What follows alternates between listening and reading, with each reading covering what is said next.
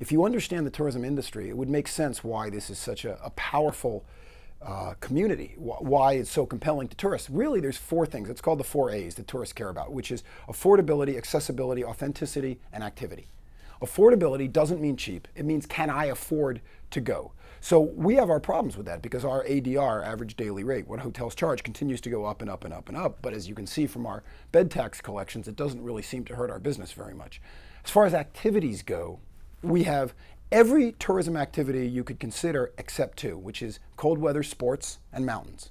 Other than that, Miami Beach, and more importantly, Miami, because the, the consumer does not see Miami Beach as a separate area. In fact, 50 miles outside of our community, or 20 miles outside of our community, if you do research, Miami Beach is the strip of sand attached to Miami. People don't see it as a separate city.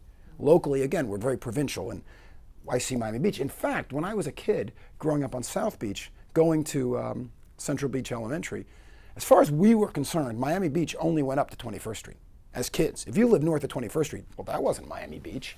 And then once I went to junior high school and they brought kids all the way south of the Nautilus district, so then Miami Beach expanded to 41st Street.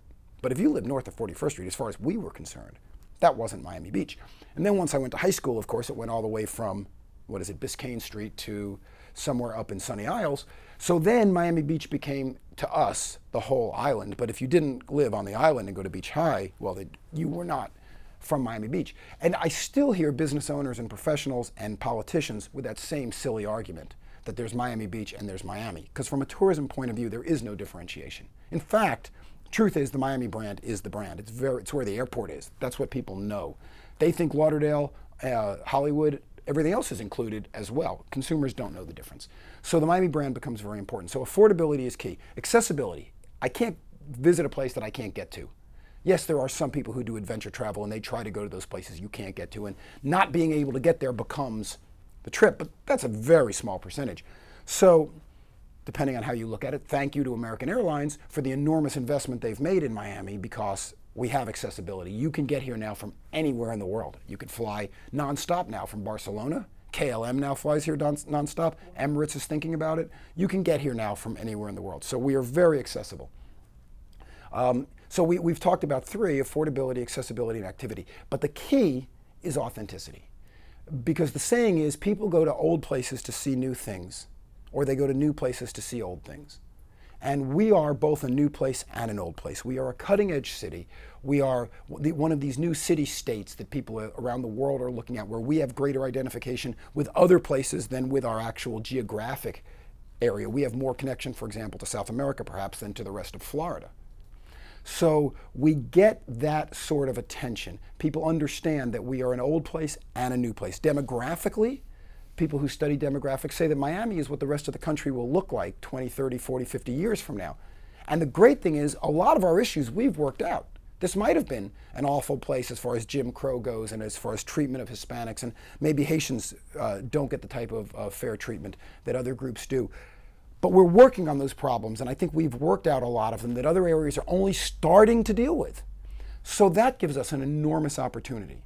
Authenticity also is authenticity of place. And because of restoration, we have a place that doesn't look like we're anywhere else. I understand that there might be an equally large or larger collection of Art Deco properties in Haifa because the mostly Jewish German architects who designed them, when they left Germany, they either came here or they went to what was then Palestine and became Israel.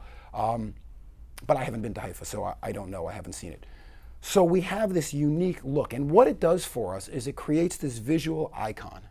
And whether we are old or new, to quote Carl about, you know, taking the old, but, but how do we move it forward? We will move it forward technologically. Clearly, the buildings will be just as up to date and they'll be LEED certified. That'll all happen. That has to happen. But the look becomes the uniqueness that people will notice. An iconography, that's not even a word, as an icon, people will be able to look at South Beach and see South Beach equals Miami Beach equals Miami. That look will drive the train. No different than if you see that one curvy road in San Francisco. It's got to spend a lot of time in San Francisco to find that road if you don't know where it is, but it says San Francisco. If you see the Grand Canyon, it, it's a iconic. If you see um, the, the bridge going over the left bank, you know you're looking at Paris, and so on and so forth. So we have that. You can't create that. You, you can create it, but it takes 50 years or 100 years until it becomes authentic. Vegas did that. Vegas didn't exist 50 years ago. They've created. Of course, they've created it by copying other areas. So if you see the Empire State Building or you see the Statue of Liberty, you could be looking at New York or you could be looking at Vegas. Um, we have, if you see glass block and pink neon and an arch, you know what you're looking at. Now, people call it Deco, they call it Nouveau, they, they lump it all together. They don't know what they're calling it because, again, they don't know. But it doesn't matter. You know, we would say, oh, no, no, that's not Deco, that's Mimo, or that's not Deco, that's Populuxe, or that's not Deco, that's Modern, or that's, no, that's Nouveau. But it doesn't matter. It's no different than in going in France and going to see a cathedral. And do you know if it's Gothic or if it uh, comes from a different period? Do you have any idea? And ultimately, does it matter if the columns are, are uh, Doric or Ionic or whatever it is? You don't know or care. You just feel like you've seen it. We have that same opportunity here.